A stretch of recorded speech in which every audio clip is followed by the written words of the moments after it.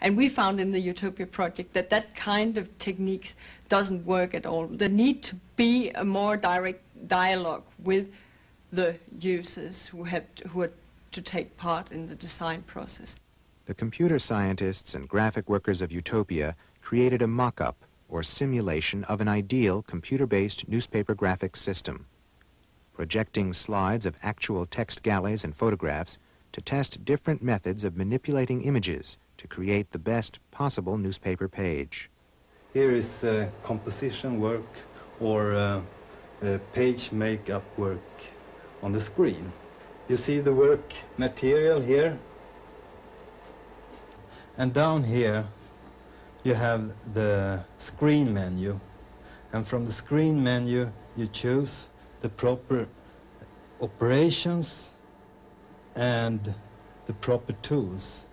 In 1982, the opportunity arose to translate Utopia's ideal specifications into a practical computer system by cooperating with a Swedish company that was planning to build a new computer-based newspaper text and image processing system. Known by the name TIPS, this system is now being tested by graphic workers at Aftonbladet.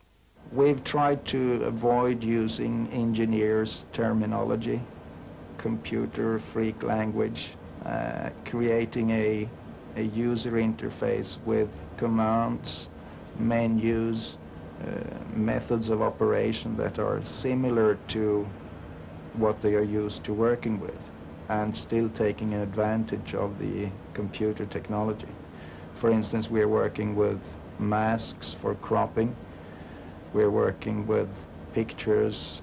Uh, when they look at them on the monitor screen, it's just like looking at pictures laying on a light table or a light box. By implementing traditional graphics operations on the computer, TIPS not only offers increased speed and precision, it also opens up a range of new creative possibilities. For example, the user can easily reverse a photograph or modify its brightness and contrast.